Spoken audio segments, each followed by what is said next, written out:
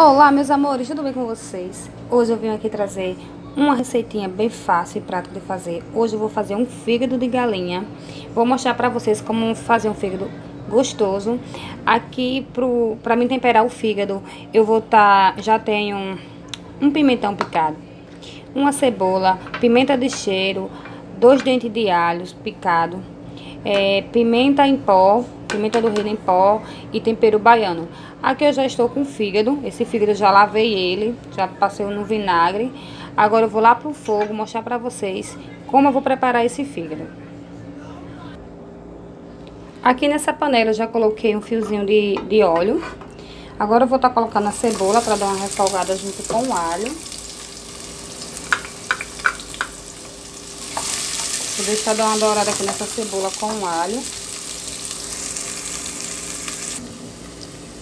Depois que dê essa refogada no alho e na cebola, agora eu vou estar tá colocando o fígado.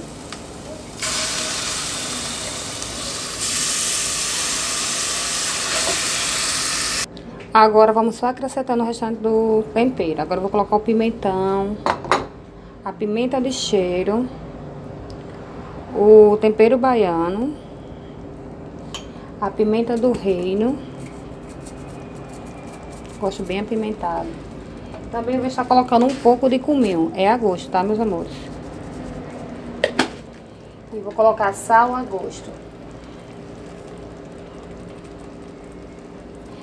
Vou também colocar um pouco de coloral, pra dar uma cozinha.